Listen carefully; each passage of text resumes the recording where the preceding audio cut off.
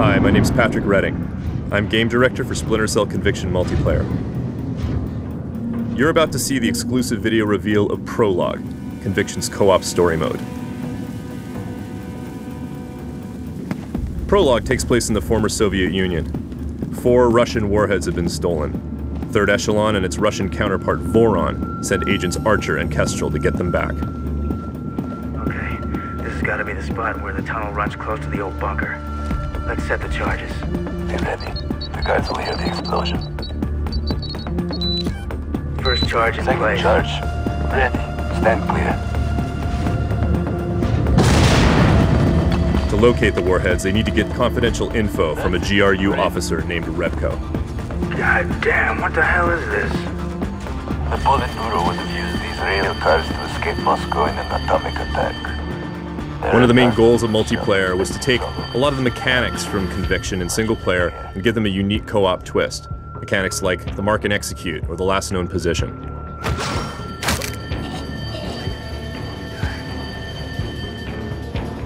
In our take on mark and execute, a player with a good vantage point can mark several enemies, and his teammate can carry out the execution. Proceed into the office area and locate a GRU major named Rebko. You'll need him to access the high security intelligence archive. Understood. We're on the way. When playing in co op, the most important thing is to try to remain stealthy. That means taking out enemies at the same time, using stealth to approach enemies while they're distracted.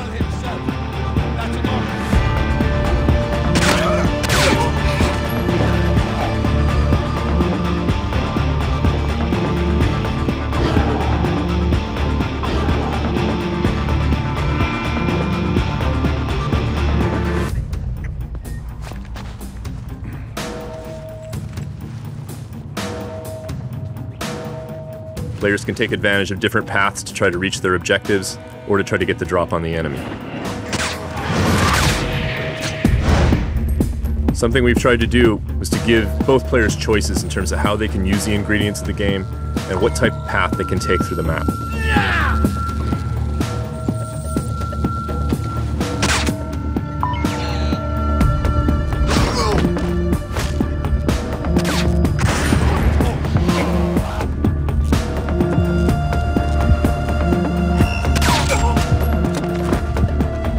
One benefit of having a teammate is that the player can survive situations that, in single player, would mean a reload. Exotic gameplay moments throughout Prologue let the players work together to hit objectives or overcome obstacles. Is secured a biometric lock system. It's not enough to get a key code out of Rebko. You're gonna have to force him to open the door for you.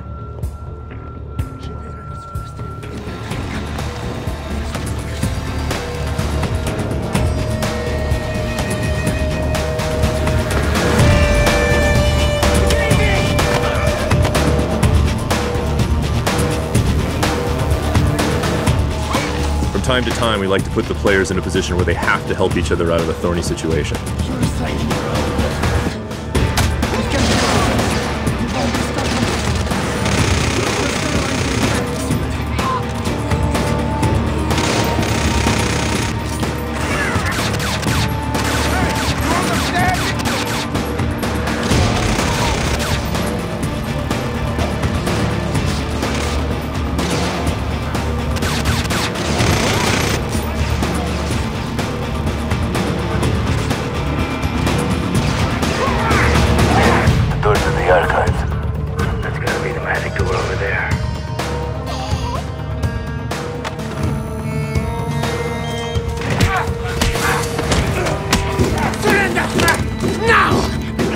I'll break his neck!